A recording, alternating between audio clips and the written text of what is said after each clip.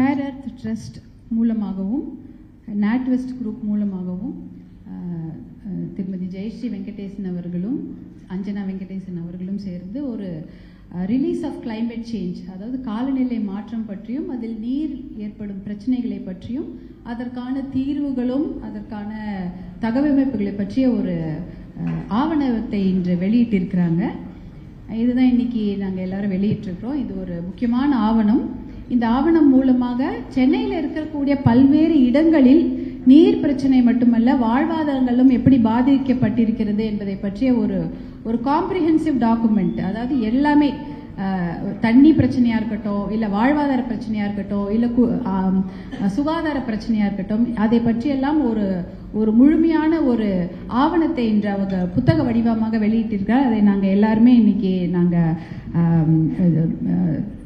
திரு திருமதி சுப்ரியா ஜுன்ஜுன்வாலா திரு Krishna doctor N Krishnakumar அவர்கள் அதுக்கப்புறம் டாக்டர் எஸ் பாலாஜி அவர்கள் இவர்களோட சேர்ந்து நாங்கள்லாம் இன்னைக்கு பசுமை தாயகமும் சேர்ந்து நாங்கள் இதை வெளியிட்டிருக்கிறோம்.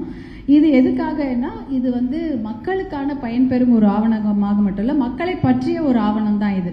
நம்ம வந்து சென்னையை சுற்றி நமக்கு நிறைய நீர்நிலைகள் இருக்கின்றன.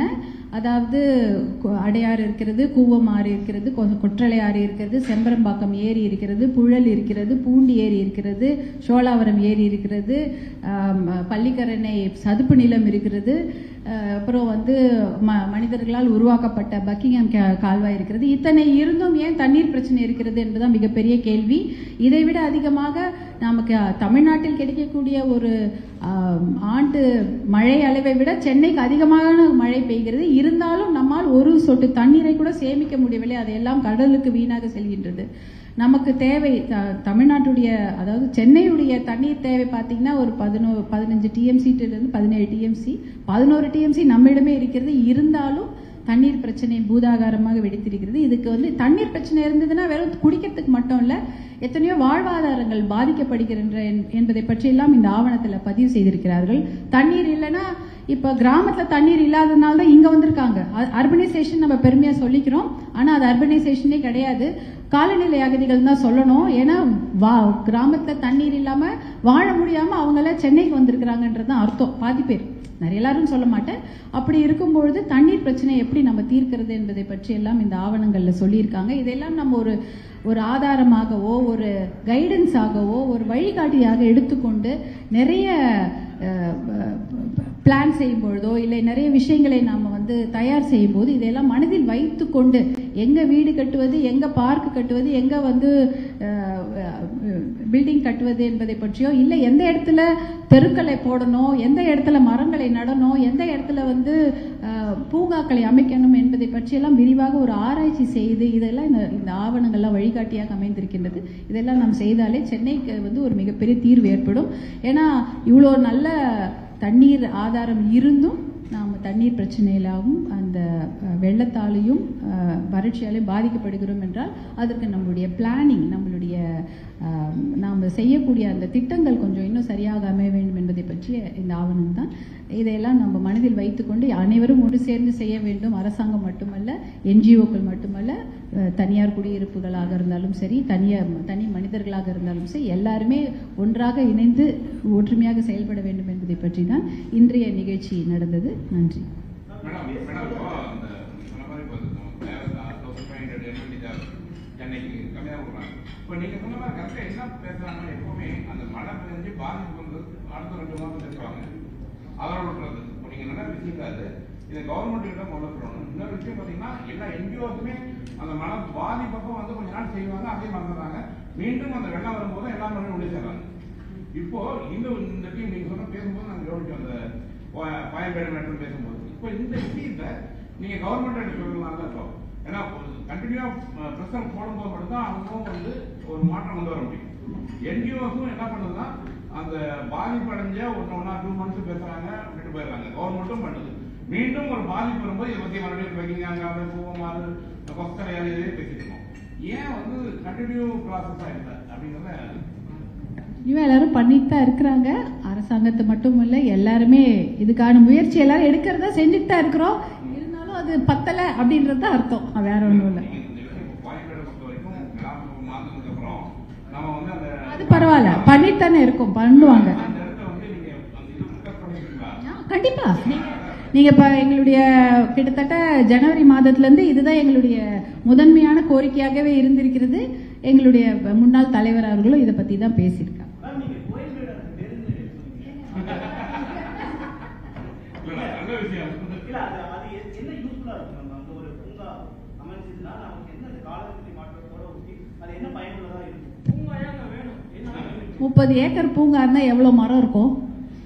சென்னையில உங்க வீட்டு பக்கத்துல ஒரு மரம் நட முடியுமா? இடம் கிடையாது. அந்த இடத்துல நீங்க நட முடியும். எத்தனை லட்சக்கணக்கான மரங்களை நட முடியும்? அதனால் எத்தனை பயன்கள் இருக்கும்? இல்லையா? கண்டிப்பா. இல்லையா? கார்பன் அஹ், பிரச்சனை எல்லாம் இருந்தா நம்ம அதை கொஞ்சம் சால்வ் பண்ணலாம். மழை வரும் இல்லையா? மரம் இருந்தா மழை வரப்போகுது. அதுக்கப்புறம் மக்கள் வந்து அங்கே குழந்தைங்க விளையாடுறாங்களோ இல்லை எக்ஸசைஸ் பண்ணுறாங்களோ பெரியவர்கள் நடப்பாங்க.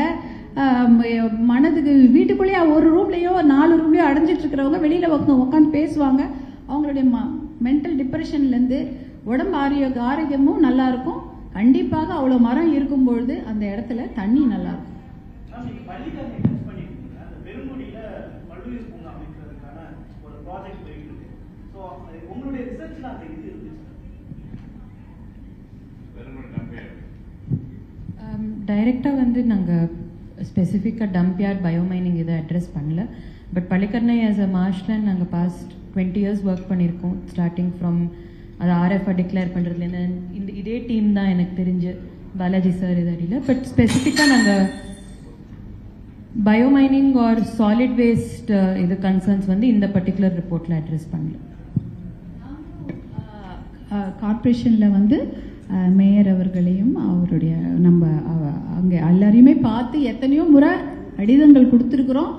நீங்கள்லாம் கூட வந்து அங்கே எங்களை பேட்டியெலாம் எடுத்துருக்கிறீங்க.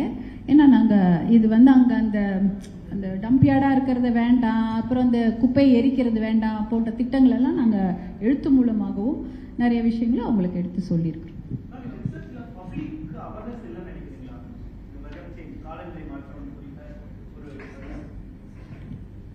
இல்லை ஆக்சுவலி அதுதான் நான் ப்ரெசென்ட் பண்ணேன் இஸ் பப்ளிக்கு நிறைய அவேர்னஸ் இருக்குன்னு. ஸோ நாங்கள் த்ரூ திஸ் ரிப்போர்ட் நாங்கள் சொல்ல விரும்புறது அதுதான். இஸ் லோக்கல் லெவலில் நிறைய நாலேஜ் இருக்குது அபவுட் சேஞ்சிங் சீசனும் காலநிலை மாற்றம். மேபி அந்த டேர்ம் ஒரு காலநிலை மாற்றம் பருவநிலை மாற்றம்னு கேட்டால் அவங்களுக்கு அது அந்த டேர்மாக அது தெரியல. பட் ஒரு நடக்கிற ஒரு ஃபினாமினா கண்டிப்பாக நாலேஜ் இருக்குன்றது தான் நாங்கள் நம்புகிறோம் எங்கள் ரிசர்ச் எங்கள் சர்வேவும் அதுதான் சொல்லியிருக்கு.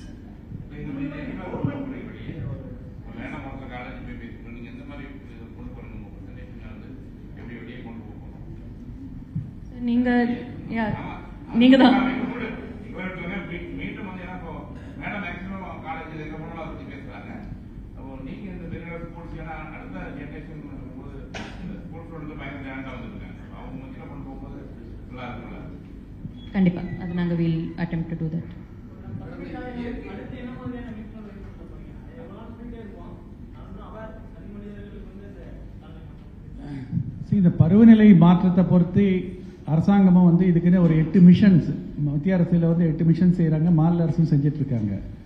இந்த அறிக்கையை பொறுத்த வரைக்கும் நீர்நிலைகளை பாதுகாக்கிறதுக்கும் எப்படி வந்து ஒரு வாட்டர் செக்யூரிட்டி நமக்கு வந்து தண்ணி வந்து ப- காலத்தில் தண்ணி இல்லாமல் அவதிப்படவும் கூடாது. மழை காலத்தில் வெள்ளத்தினாலேயும் அவதிப்படக்கூடாது. இந்த மாதிரியான மாற்றங்கள் வந்து பருவநிலை மாற்றத்தினாலையும் வருகிறது. அவங்க அஞ்சனா ப்ரெசன்டேஷன் போச்சே சொன்னாங்க. சிலது வந்து பருவநிலை மாற்றத்தினால வருது. சிலது வந்து மற்ற காரணங்கள்னாலையும் வருது. என்க்ரோச்மெண்ட்டு மற்ற காரணங்கள்னாலையும் வருது. இதெல்லாத்தையும் தீர்த்தோம்னா நிச்சயமா உனக்கு உங்களுக்கு ஒரு வாட்டர் செக்யூரிட்டி கிடைக்கும். ஸோ பருவநிலை மாற்றத்தில் பல்வேறு தாக்கங்கள் இருக்குது அந்த தாக்கங்கள் எல்லாத்தையும் இதில் டீல் பண்ணல. அதில் வந்து எப்படி வந்து நம்முடைய கார்பன் டை ஆக்சைடு வெளியாகிறத வந்து குறைக்கணும். முக்கியமாக வந்து பருவநிலை மாற்றத்துக்கு முக்கியமான காரணம் நம்ம இப்போது இந்த இடத்துல வந்து இவ்வளோ விளக்குகள் இருக்குது எனர்ஜி இல்லையா? எனர்ஜி செக்டார்லேருந்து தான் ஒரு அறுபத்தோரு பர்சன்ட் ஜிஹெச்சி கேஸ் வருது. ஆனால் அது அதை தா அந்த தாக்கத்தை குறைக்கிறதுக்கு தான் நிறைய வழிகள் பண்ணியிருக்காங்க. இப்போ வந்து இப்போ வந்திருக்கக்கூடிய விளக்குகள் எல்லாமும் அதிகமாக மின்சாரத்தை நுகராமல் இருக்கக்கூடிய விளக்குகள். ஸோ அந்த மாதிரியான அந்த மின்சாரத்தை குறைக்கிறதுக்கு நம்ம எரிசக்தியை உபயோகப்படுத்துறது இது தவிர்க்க முடியாது. அதே சமயம் இப்போ சோலார் பவர் அதிகமாக இப்போ பாப்புலரைஸ் பண்ணியிருக்காங்க ஸோ இந்த மாதிரி பல்வேறு விதமான காரணங்கள்னால தான் நம்ம பருவநிலை மாற்றத்தை எதிர்கொள்ள முடியும்.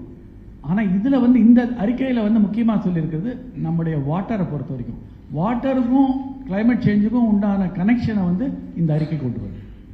இதுவரை அதிகமாக வாட்டரை பற்றி பருவநிலை மாற்றத்தினால இருக்கக்கூடிய தாக்கத்தை பற்றி சொல்லலை.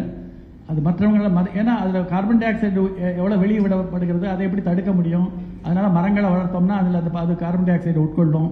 அப்படிங்கிறதுனால அந்த அந்த வகையில் தான் அதிகமாக எடுத்திருக்காங்க. இதில் வந்து நம்ம வாட்டர் செக்யூரிட்டியை எப்படி மேம்படுத்த முடியும்? அதுக்கு என்னென்ன செய்ய முடியும்? அது மக்களுக்கு அதை வந்து நாலு பேர் இடத்துல வந்து அவங்க வந்து இன்டர்வியூ பண்ணியிருக்காங்க. ப சென்னையில் இருக்கக்கூடிய பல்வேறு பகுதிகளில். அதிலிருந்து வ- கிடைத்த தகவல்களையும் வச்சுக்கொண்டு என்னென்ன செய்யலாம் அப்படிங்கிற ஒரு அறிக்கை தெரிஞ்சு நன்றி.